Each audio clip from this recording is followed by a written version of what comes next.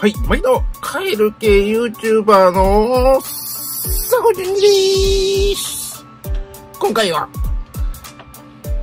久しぶりのグシオンくんです。カエルが一切出てこないカエル系 YouTuber 言うとりますが、カエルっぽいものは出てるんですよね、カエルっぽいものは。そうなんですよ。ということで、このこの子のカエルの画ここに映り込んで、これね、僕の、ね、お気に入りのコース。はい。持ってないけどね。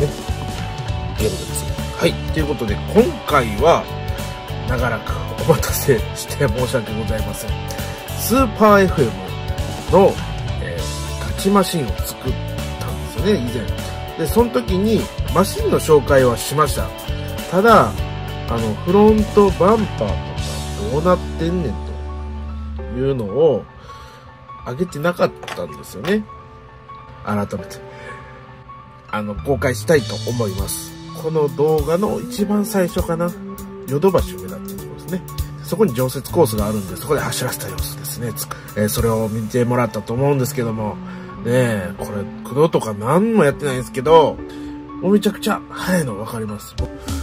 まあ、ただですね、昔のシャーシなんで、パンパンのところ、あ、新規で穴開けたりとかしないといけない加工があるんで、え、ちょっとめんどくさいところもあるんですけど、シャーシが再販されましたということでですよ、出たんですけど、あんまり出回ってなかったですね。僕、ショップとかで買えたのって、まあ、予約してたところ、7個予約したんですけど、結局5個しか手に入れられないって言われて、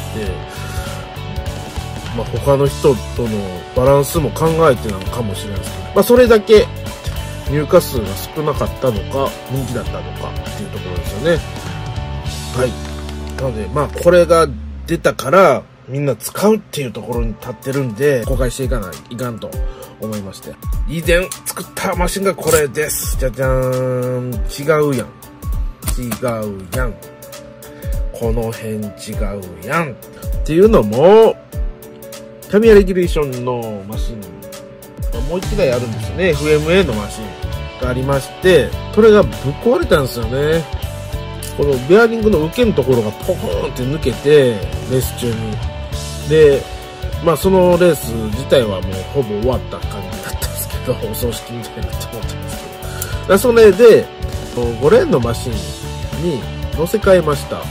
で乗せ替えた際にバンパーの位置とかちょっと微妙に違ったのか変えないといけないということでえこれについてるやつがちょうど良かったんでここのやつを移設しました、はい、ちょっと違うやんって言いつつも提灯だけなんで、えー、そこはご勘弁をお願いします。今回フロントバンパーの紹介なんで提灯外して中身見ていきたいと思います。それではだがはい、提灯取りました。何気にね、これ使ってたんですけど、これ、実は、あ、逆やったね。ポテンシャルレーシングの工具でした。こう普通のナットのサイズと、ロックナットのサイズと、2つあります。これなかなか使いやすいんですよね。勝手に紹介してます。ポテンシャルレーシングさん、なんか僕も有名になったら、宣伝しますよ。ということで、ここ置いてきますよね、目立つところ。フロントバンパーがあらわになってきました。どうやってつけてんねんと、これね。どうやってつけてんねん。裏返したらもう、ベタベタ、もう、紙ってばっかりやん。はい。ですよ。そもそもね、この、リフター、みんなどうやってつけてます？なんか穴開けて、そこにポリカ、端材にも穴開けて、ビス止めしてるんじゃないですか。僕、そんな一切してないですね。まあ、押し、うーん、これ撮るときにまた見せると思うんで、はい、その時に紹介したいと思います。はい、じゃあ、これが一体どういう風についてるか、バンパー、ね、僕のバンパーの動き、まず見ていきましょうか。ちょっと寒った感じしたんですけど、はい、まずですね、二軸の AT なんですかね。めっちゃビヨンビヨン。めっちゃビヨンビヨン。もうこれでね、いなせますね、余裕で。ここのスペーサーの長さ、長くして、で、下にソフトのバネ、で、上に銀バネつけて、4秒にすることによって、ここの可動域も、可動域もすっごい、すっごいことになります、これ。だから一軸とか、なんか、1、2とか、まあ1、2、1軸と2軸の組み合わせとかめちゃくちゃガーって伸びますけど、まあそれに匹敵するぐらいの、ね、この斜め、いなし具合どうですかこれ。ね。で、バネも強さね、あの変えたら、ここの、戻り戻りっていうか、スラスト抜けっていうのが、なくなります。はい、続いて、このスラスト抜けをどうしてるかですよね、僕が。どういうようにしてるかっていうのを皆さんに見ていただきたいなと思いました。ちょっとめんどくさいことをしてます。外す前に一回見てもらいたいと思います。はい。どうですか？わかりましたか？お分かりいただけただろうかはい。はい。はい。なんかここで、裏側から見たら、なんか動いてるとこ見れると思うんですよね。このプレートの中から、中に。シルバーのものが、なんか動いてる。そうです。ここ。ここ。ここに、ビスを、が当たるようにして、ローラーがパーンって当たった時はガッチガチ。でも持ち上がった時は全く干渉しない。位置にミスを持ってきてほらほらほらどんな動きしても干渉しないただローラーが当たった時はガッチガチに止まるとこういう引っ掛けを作ってますなので、逆スラになりにくいと。ほぼガッチガチ。はい。こんな感じになってます。さっき言ってたのが、ここですかね。ここと、こ。はい。まあ、手で、まあ、リューターとかでやってるんで、ちょっといびつな形になってるかもしれないですけど、これ、ほら、ほらほら。ほら指で押さえて、ほら全然動かない。でも、上に、その、ギミックを稼働させた時は、動く。なかなかいい感じですね。そして、えっと、フロントのバンパーを取り付けてる位置ですけども、どこにつけてるか、みたいですよね。撮ってみましょうか。はい、バンパー取りました。バンパー取ったらどんなことになってますか？はい。お分かりいただけただろうかな。どうでしょう。ちょっと角度ついてるように見えません？フロント。これはなんでついてるかというと、このシャーシの形状に沿ってつけてるからですね。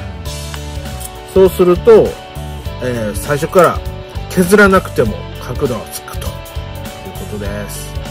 はい。ということで、これが僕のバンパーの位置です。なんか新品見せた方がいいかな？はい。これ今、新品のシャーシ持ってきました。どこに位置が来るのか。ブレーキというか、バンパーの土台を作る穴の位置。あと、ボディキャッチの口のところより、ちょっと前の方をカットします、ここは。で、えっと、そのちょっと手前に、このボディキャッチの口の横、横側と、ここに丸があると思います。そこの位置がちょうど、はい、えっと、このバンパーなんですけど、このブレーキプレートを使ってます。ちょっと開けてみましょう。はい、出しました。このね、丸の位置なんやねんってなんやねんと分かりにくいと思います僕ねえっとローラーの位置どこがいいかなって考えてまあいろいろ考えたんですけどもえっとこのブレーキプレートをシャーシに当てましてちょうど今バンパーの下フロントのねに位置に置いてる状態ですと。この位置がちょうどいいんじゃないかと思いまして、えっと、当てがったところこの辺が、まあ、土台の穴位置になるのかな。でもここはもう見ての通りシャーシうんギリギリ端っこなんですよ、ね、端っこでも穴開けれない。となるとまあ、この3つの位置のどこかになるのかってなるとここもつけたらね弱い。弱いですよね。ここの端っこのうち3つの端っこ。なんでここの位置が最適なんですけどここの穴とここの穴の間この辺につけれたらいいなと思ったんですけどここの穴の穴位置から、まあ、均等に穴位置を作るのって面倒はい、何でもいいんですけど、えー、X のマルチカーボンとか、これの穴位置が、ここにあります。2、3、4、5。この両端の位置がちょうどいいところに来るんですよね。これの、両端のこの穴、使いました。で、ここに穴あったら、もうこれ、もう、当てがあって穴作ったとこからマジックの頭突っ込んでグリグリグリってグリグリグリって印ここにつけて穴開けると大体この丸の位置でした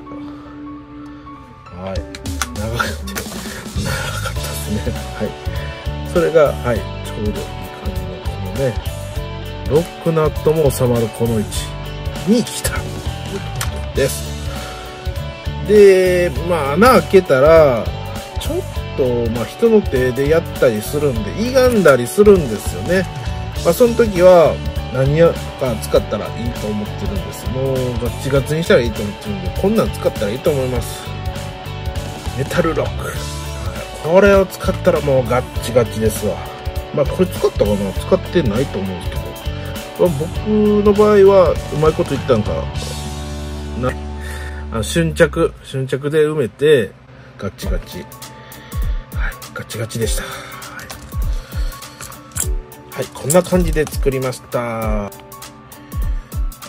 言うの忘れてた。肝心のね、引っかかりっていうか、スラスト抜けの、えー、どうやってやるかっていうのを言うのを忘れてましたね。まあ、引っかかり防止はこんな感じですわ。あの、キャッチャーを、まあ、うまいこと切って、間にかましてます穴開けてねだからこれなんでこういう風にするしたかというとめっちゃ楽というかまあ言ったら斜めになってますよこれ乗っけると普通に乗っけたら間めっちゃ隙間あるんですよここは。見て。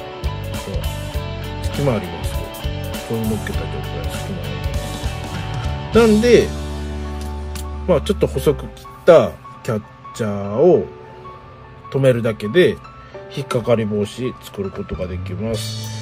わざわざそれ専用にカーボンとか切らなくても加工できるかな。めっちゃ軽くなります。軽量化になると思います。はい。それ、それとやん。えっ、ー、と、これ、土台は何を使ってるかと言いますとえ、リアマルチですね。ジャパンカップで今年は出てるんか？出てたんかな？ピンクのやつで出てきたと思います。これのリアバージョン。ここと、ここと、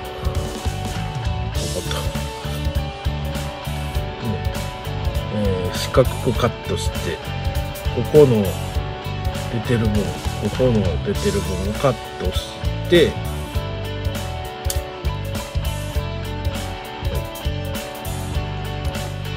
この一番端っこの穴一緒なんですよね。穴位置ここ。こ分かりにくいこういうとこか。はい。ピンセットで刺してるところ穴位置が一緒になりますのでそれを使って引っ掛けるところをリューターかなんかでチュンチュンってチュンチュンってして作りました。手で、ねまあ、ちょっといびつな形になってるかもしれないですけどね。はいそこは、まあ、これだけでいけます。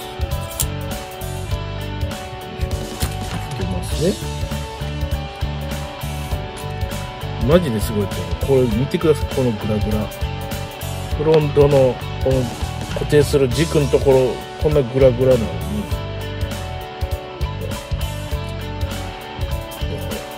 上のローラーをこう押してもほとんど、まあ、こう若干動いたりしてなるかもしれないですけど見てほら全然動かん。っていうのはここで引っ掛けてるから。です。はい以上です。まあぜひぜひねこれもうビスはまあ、こっから、まあいいよ。こう、スペース空いてるんで、どうせここに組み継ぎの提灯が来ると考えたら、ここスペース空くんですよ。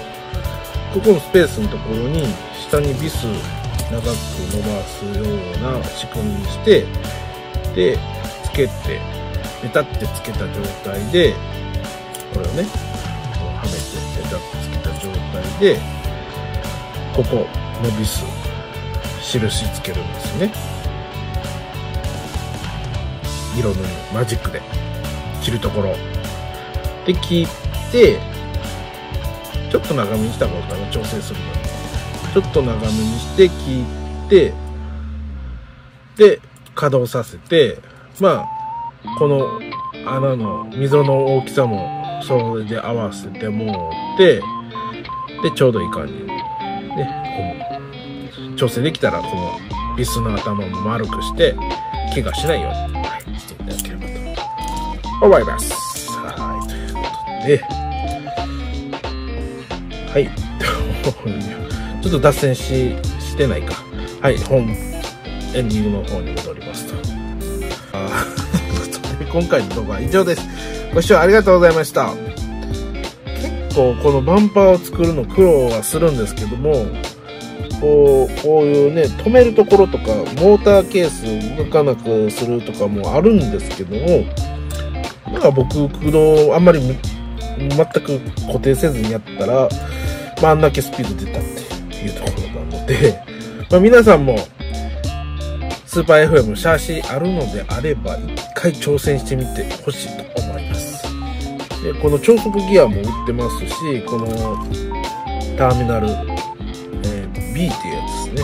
タイプ B っていうやつを買えばいきますしこのプロペラシャフトも専用のやつがなぜか なぜか売ってます既製品で、はい、古いシャーシなのに。なので、まあ、皆さんも挑戦してみてください後ろのバンパーの付け方とかもえー、過去の動画に上がってますんで、そちらを参考にしていただければなと思います。まあ、僕以外にも動画上げてる方いるかもしれないんですけども、あんまりいないかなわかんないですけど、はい。知らんけどっていうところで、はい。じゃあまたね。特別開催が決まりました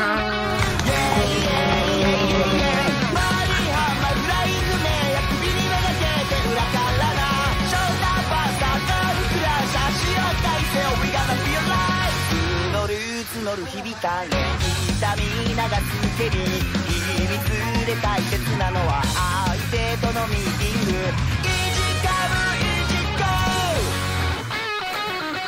イェイイェイイェイイェイイェイバリハマフライングメア夢を見させて裏からなショルダーバーサーサーフクラッシャーを立てないさ We gonna be alive とある戦隊ものを見た怪人に負けたヒーロー。中のメモにあげたらたちまち強くなるなんて意地かぶり